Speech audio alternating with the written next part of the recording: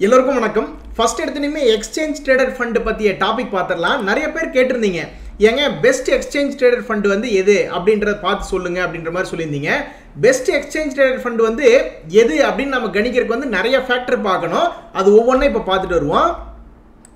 நண்பர்களே உங்களுக்கு தெரியாதில்ல. நீங்கள் ஷேர் மார்க்கெட்டுக்குள்ளே வர்றக்கு நீங்கள் டைரெக்டாக நீங்களே ஏதோ ஜீரோதாலையோ ஏஞ்சல்லையோ கோட்டக்லையோ ஒரு ட்ரேடிங் அக்கௌண்ட் ஓப்பன் பண்ணி நீங்கள் டைரெக்டாக உள்ளே வந்துடலாம் சரிங்களா?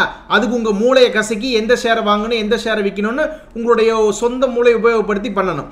இன்னொன்று mutual funds exchange traded funds அப்படின்றதுல வந்து நம்ம ஒரு மியூச்சுவல் ஃபண்ட் மேனேஜரை வேலைக்கு வச்சுக்கிட்டு நிறைய பேர் அதில் பணம் போடுவாங்க. நம்மளை மாதிரி ஒரு லட்சக்கணக்கான மக்கள் போடுற பணத்தை ஒரு மியூச்சுவல் ஃபண்ட் மேனேஜரோ ரெண்டு மியூச்சுவல் ஃபண்ட் மேனேஜரோ மேனேஜ் பண்ணுவாங்க. அதில் மியூச்சுவல் ஃபண்டுங்கிறது வந்து நீங்கள் சப்ஸ்கிரிப்ஷன் ரிடம்ஷன் ஒரே ப்ரைஸில் நடக்கும். இன் என்ஏவி அப்படின்ற ஒரே ப்ரைஸில் வந்து சப்ஸ்கிரிப்ஷன் ரிடம்ஷன் நடக்கும். பட் எக்ஸ்சேஞ்ச் ட்ரேடட் ஃபண்டுங்கிறது வந்து ஷேர் மார்க்கெட்டில் நீங்கள் போய் வாங்கிக்கிடலாம் டைரெக்டாக அதில் வந்து என்னென்னா ஒரு ஷேர் மாதிரியே நீங்கள் வாங்கி விற்றுக்கலாம் எக்ஸ்சேஞ்ச் ட்ரேடட் ஃபண்டில் சரிங்களா? அது போக போர்ட்ஃபோலியோ மேனேஜ்மெண்ட் சர்வீஸ்ன்னு இருக்குது அதில் உங்களுடைய பணத்தை ஒரே ஒரு போர்ட்ஃபோலியோ மேனேஜர் வந்து மேனேஜ் பண்ணுவார். சரிங்களா? இது வந்து ரொம்ப டெடிகேட்டட் சர்வீஸாக இருக்குது நம்ம ரொம்ப போட்டு மூளை கசிக்க வேண்டாம். முதல்ல வந்து இடிஎஃப்குள்ள போயிடுவோம். ஸோ இப்போதைக்கு இடிஎஃப் பற்றி ஒன்றுமே தெரியாதவங்களுக்கு இப்படி புரிஞ்சுக்கிடுங்க. மியூட் ஒரு எக்ஸ்சேஞ்ச் ட்ரேடட் ஃபண்ட் அப்படிங்கிறது வந்து கிட்டத்தட்ட ஒரு ஷேர் மாதிரி தான் ஆனால் அந்த ஷேர் வந்து அந்த பல ஷேர்களை வாங்கி வச்சிருக்கோம் ஒரு மியூச்சுவல் ஃபண்டு வந்து எக்ஸ்சேஞ்ச் ட்ரேடரில் வந்து லிஸ்ட் ஆகிருக்கு அப்படின்னு நினச்சிக்கிடுங்க. சரிங்களா? இப்போ நம்ம நாட்டில் பார்த்தீங்கன்னா முதல்ல ரெண்டாயிரத்தி ரெண்டு ரெண்டாயிரத்தி அஞ்சுலாம் பெரிய அறிமுகமே இல்லை. இப்போ இந்த எக்ஸ்சேஞ்ச் ட்ரேடட் ஃபண்டு நல்ல எப்படி அமெரிக்காவில் வந்து எக்ஸ்சேஞ்ச் ட்ரேடட் ஃபண்ட் வந்து நல்லா பிக்கப் ஆகி நல்ல அறிமுகமாகி நல்லா மேலே வந்துட்டு இருக்கோ இண்டிவிஜுவல் இன்வெஸ்டருக்கு ஹெல்ப் பண்ணுதோ அதே மாதிரி நம்ம நாட்டில் இப்போ பார்த்தீங்கன்னு வச்சுங்களேன் நான் இந்த நிப்பான் இந்தியா எக்ஸ்சேஞ்ச் ட்ரேட் ஃபண்டனுடைய ஒரு ப்ரெசன்டேஷன் டேட்டா பார்க்குறேன் கிட்டத்தட்ட மூணு லட்சத்தி எண்பத்தேழாயிரம் கோடி இப்போ வந்து நம்ம எக்ஸ்சேஞ்ச் ட்ரேடட் ஃபண்டில் இருக்குது சரிங்களா?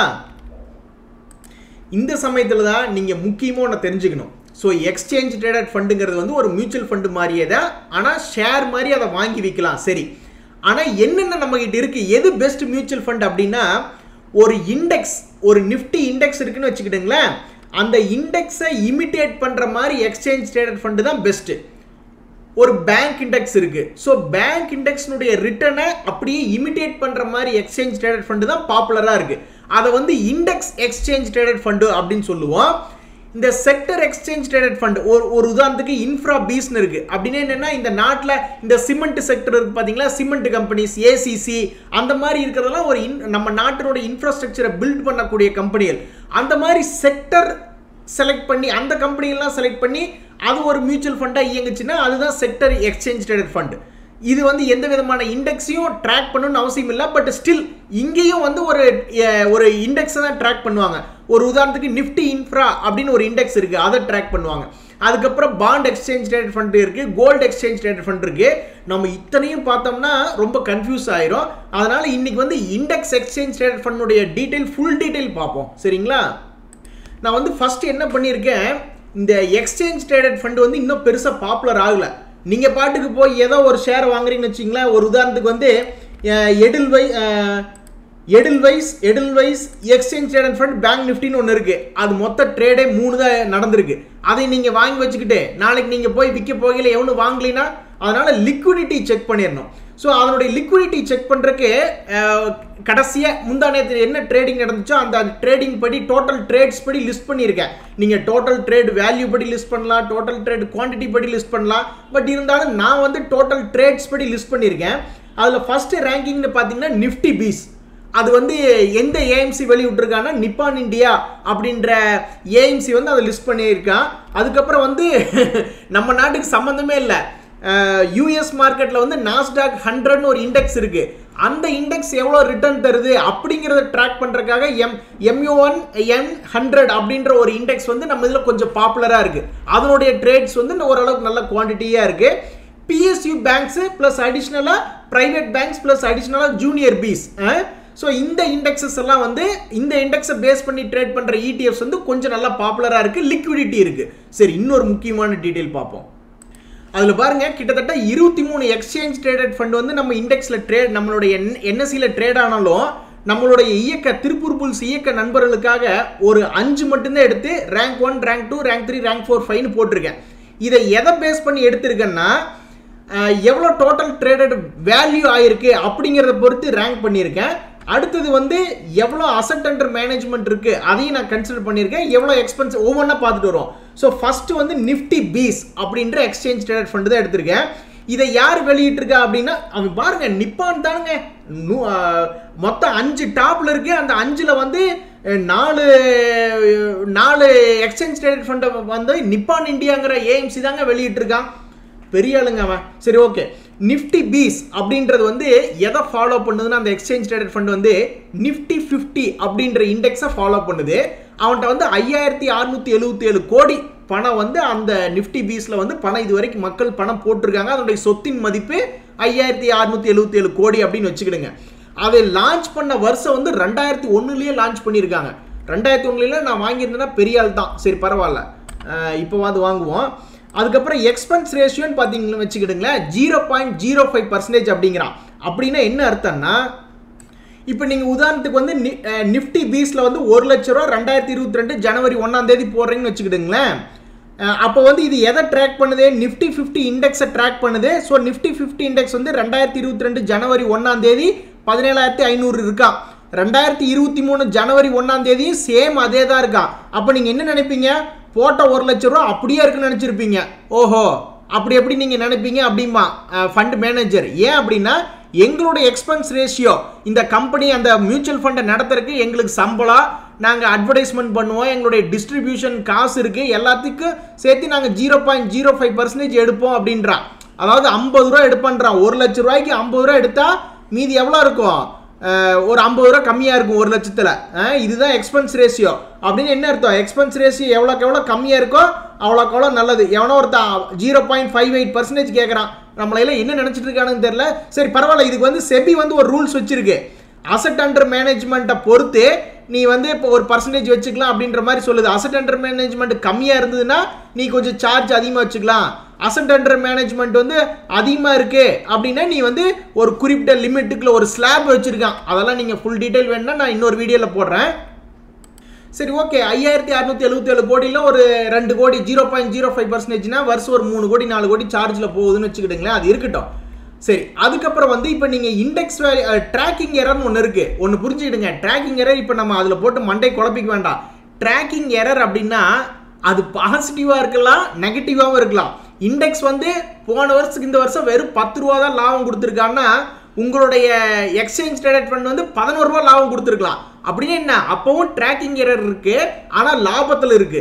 அதனால அதில் நீங்கள் ரொம்ப போட்டு மண்டை குழப்பிக்க வேண்டாம். இப்போதைக்கு நம்ம கையில் இருக்கிறத இருபத்தி மூணு எக்ஸ்சேஞ்ச் ட்ரேடட் ஃபண்டில் நீங்கள் நிஃப்டி ஃபிஃப்டியில் போடணுன்னா இது ஒன்று தான் உருப்படியாக இருக்குது அதனால் அதில் போட்டு நீங்கள் மண்டை குழப்பிக்க வேண்டாம். அடுத்தது பார்ப்போம். அடுத்தது இப்போ நிஃப்டி நம்மளுடைய நிஃப்டி ஃபிஃப்டி இண்டெக்ஸ் வந்து பதினேழாயிரத்தி அறுநூத்தி பதினேழில் க்ளோசிங் ஆயிருக்கு. இவனுடைய நிஃப்டி பீஸ்னுடைய க்ளோசிங் ப்ரைஸ் வந்து நூற்றி தொண்ணூத்தொரு ரூபா பதிமூணு பைசா இருக்கு. இந்த ரெண்டுக்கு ஈக்குவலாக இருக்கா? ரெண்டுக்கு ஈக்குவலாக இல்லை. அப்போ நீங்கள் ஒரு நிஃப்டியை வாங்கணும்னா எத்தனை ஷேர் வாங்கணும்?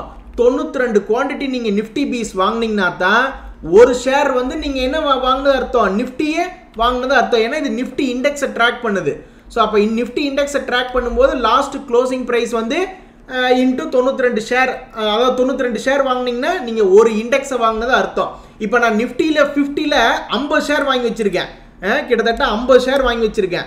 அப்படின்னு என்ன அர்த்தம்? பதினேழாயிரத்தி அறுநூற்றி பதினேழு ரூபா இன்ட்டு ஐம்பது ரூபா அப்படின்னா குவான்டிட்டினா கிட்டத்தட்ட நான் எட்டு லட்ச ரூபா மதிப்புள்ள ஷேரை எட்டு லட்சத்தி எண்பதாயிரம் ரூபா மதிப்புள்ள ஷேரை நான் ஃபியூச்சரில் வாங்கி வச்சுருக்கேன். அதுக்கு நான் மொத்த பணம் கட்டினதே ஒன்னே கால் லட்ச ரூபா தான் மார்ஜின் பண்ணி பட் அதே அளவு நான் இடிஎஃப்ல வாங்கணும்னா அதே எட்டு லட்சத்தி எண்பதாயிரம் ரூபாய் போடணும். ஆனால் ஒரு சேர் வாங்குற மாதிரி இருந்தால் தொண்ணூற்றி ரெண்டு குவான்டிட்டி வாங்கணும்.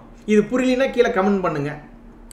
சரிங்க நண்பர்களே நம்ம இப்போதைக்கு இப்படி புரிஞ்சுக்குவோம். எக்ஸ்சேஞ்ச் ட்ரேடட் ஃபண்டில் வந்து இண்டெக்ஸை வச்சு ட்ரேட் இண்டெக்ஸை வந்து பெஞ்ச் மார்க்கை வச்சு ட்ரேட் பண்ணுற இண்டெக்ஸ் இடிஎஃப்ஸ் இருக்குது செக்டர் இடிஎஃப்ஸ் இருக்குது பாண்ட் இடிஎஃப்ஸ் இருக்குது கோல்டு இடிஎஃப்ஸ் இருக்குது இதில் வந்து நம்ம இண்டெக்ஸ் இடிஎஃப்ஸ் மட்டும்தான் இப்போதைக்கு நம்ம கான்சன்ட்ரேட் பண்ணுறோம் அந்த இண்டெக்ஸ் இடிஎஃப்ல இருபத்தி மூணு பேர் இருக்கான் இருந்தாலும் அதில் ஒரு அஞ்சு பேர் தான் உருப்படியாக இருக்கான் அதில் யார் யார் அப்படின்னு சொல்லிட்டு first second third fourth fifth rank வரைக்கும் கொடுத்துட்டோம். சரிங்களா?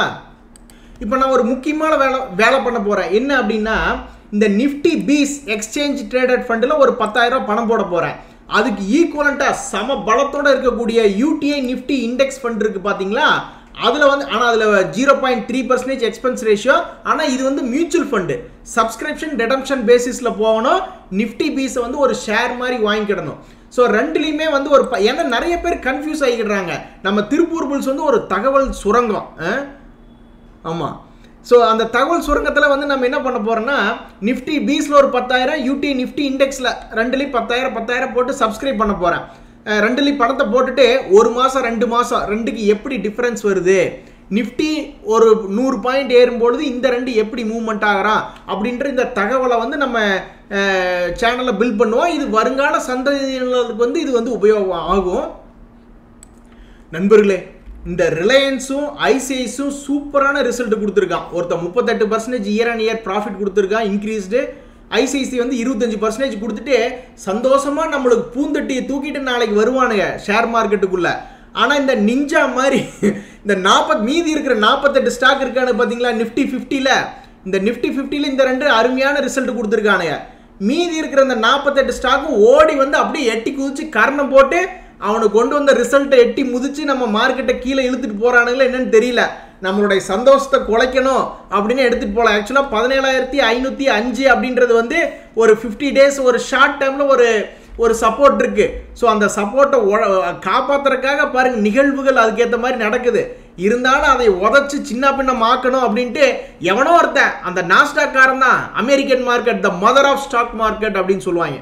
அவனு ஊரில் வந்து டெக் இண்டெக்ஸ் வந்து நாஸ்டாக் இண்டெக்ஸ் இறங்கிட்டு இருக்கு ஏன்னா அவனு ஊரில் வந்து இன்ட்ரெஸ்ட் ட்ரெஷர் ஈல்டு வந்து இன்க்ரீஸ் ஆகிட்டு இருக்கு எவ்வளோ நினச்சிட்டு இருக்கிறீங்க ஜீரோ பாயிண்ட் ஃபைவ் ஒன் அப்படின்ட்டு ஏறிட்டு இருக்கு நம்மளால இங்கே வந்து அஞ்சு பர்சன்டேஜ் ஆல்ரெடி வட்டி கொடுத்துட்டு இருக்கானுங்க ஸோ அந்த ஒரு அந்த ஒரு மதர் ஆஃப் ஸ்டாக் மார்க்கெட் நம்மளோட இம்சை பண்ணக்கூடிய அந்த மார்க்கெட்டில் பல பிரச்சனைகள் இருக்கிறதுனால மீதி இருக்கிற இந்த நாற்பத்தெட்டு ஸ்டாக்கும் நிஞ்சா மாதிரி ஓடி வந்து அந்த பூந்தட்டி எட்டி உதவி போகிறானுங்களா இல்லையாங்கிறது நம்ம இன்னொரு ஒரு பன்னெண்டு மணி நேரத்தில் தெரிஞ்சிடும் இல்லையா? இப்போ மணி ஆல்ரெடி ஏழு.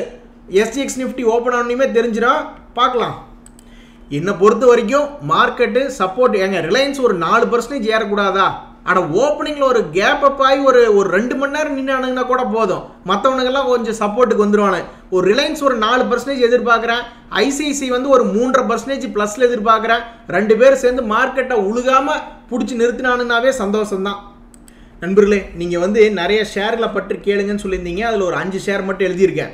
பட் இருந்தாலும் நிஃப்டி வந்து வெள்ளி அந்த ஃபாரின் மார்க்கெட்ஸ் க்ளோஸ் ஆன வெள்ளிக்கிழமை க்ளோஸ் பண்ணி மூட பூரா ரொம்பவுமே என்ன என் மனசு ஆல்ரெடி மன வருத்தத்தில் இருக்குது அதனால் என்னால் இந்த நாளைக்கு ஓப்பன் ஆகட்டும். அடுத்த வாரத்தில் எப்படி இருக்குது இந்த பட்ஜெட்டை வச்சுக்கிட்டு அது ஒரு ரீசன் நம்மளோட இன்டர்னலாக நம்ம இந்தியன் எக்கானமி பேஸ் பண்ணி பட்ஜெட் வந்து ஒரு பெரிய இம்பேக்ட் இருக்குது அது போக இவனுக்கு டெய்லி போன வாரத்தில் நல்லா இருந்த மார்க்கெட் நாலே நாளில் ஒரு ஆயிரம் பாயிண்ட்டை க காணாத மாதிரி பண்ணி விட்டாங்க எட்நூறு பாயிண்ட்டை அதனால் இந்த அஞ்சு ஷேர் நான் அப்படியே நாளைக்கு நான் ரிப்பீட் பண்ணுறேன் நாளைக்கு ஓப்பன் ஆகட்டும். திடீர்னு அஞ்சு பர்சன்டேஜ் முன்ன பின்ன ஏறி இறங்கினான்னா அந்த டெக்னிக்கல் சார்ட்டில் பல லெவலுகளில் முன்ன பின்ன இடித்து தள்ளிடுவானுங்க அதனால் டைம் கொடுங்க. இதை நாளைக்கு என்னன்றதை பார்ப்போம்.